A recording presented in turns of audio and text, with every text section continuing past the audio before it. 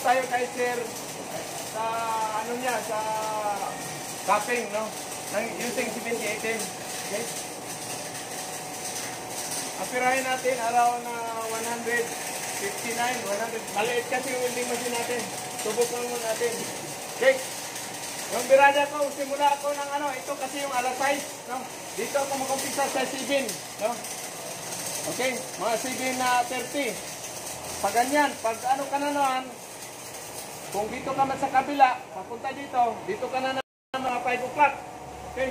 Ganyan. Angle of electrode, i-maintain mo yung uh, arc, tapos yung uh, speed. No? Okay, so ngayon, ang gagawin, dito ako papunta dito. No? Okay? Sisimula ako ng 5 o'clock. Okay?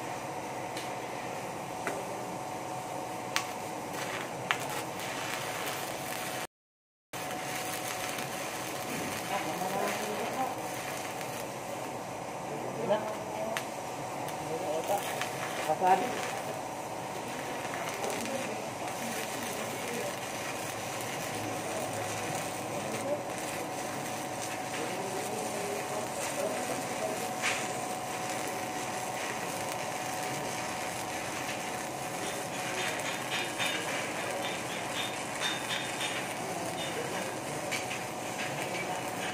Yan. oh.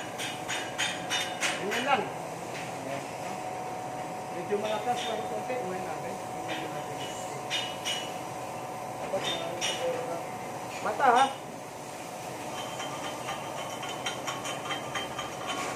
Pero pag ano yan, tuloy-tuloy talaga yan. Walang putol. No?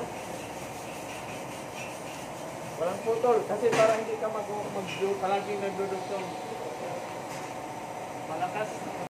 Oh, maabot siya na ano, 160. Ito tayo sa ano, 150. Okay? Okay.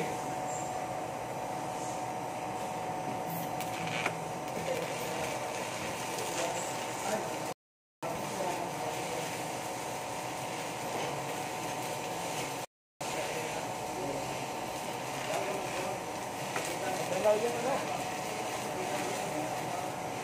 Magalaw yung uh, positioner natin.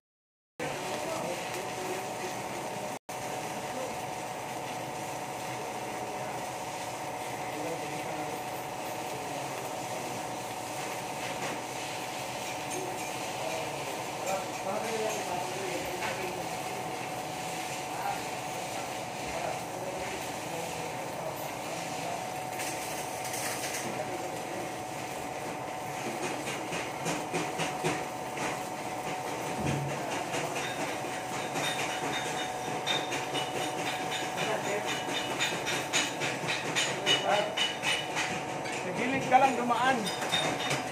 Tapos yung si clear mo. Wait. Wala, wala pa ano to. oh. Wala.